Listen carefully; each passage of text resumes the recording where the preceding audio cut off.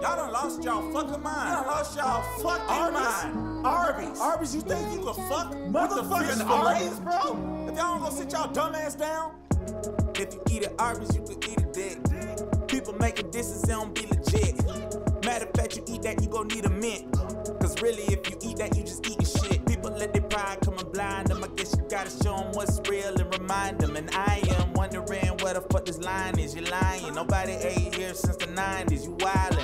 You wildin'. You couldn't serve it on deserted islands. We're gonna starve to death, everybody. Talking about a fucking slice of cheese, but you went and switch sides just to fucking spite your team. Hold up, you went to Arby's and not Burger King? It's a murder scene. You ain't even get signed with Wendy's. How the fuck you ain't even get signed with Blimpies? How the fuck you ain't even get signed with Dairy Queen? Talk about a restaurant nobody has ever seen. Talk about a fucking fish sandwich we will never see. Get it, fish, see? Fuck it, I'ma fucking go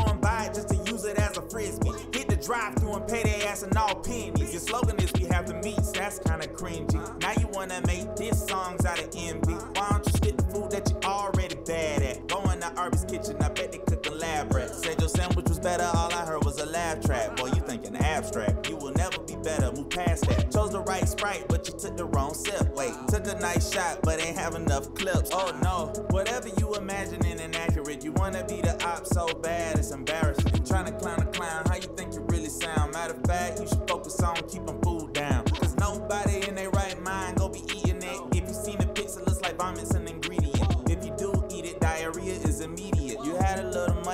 paid Pusha T with it. Now you about to be broke as words from comedians. The reason is the fish isn't gonna sell well. The CEO's gonna end up pushing fish scale. And he don't know what he doing, so he end up in jail, man. Arby's all capped, so here's a big L.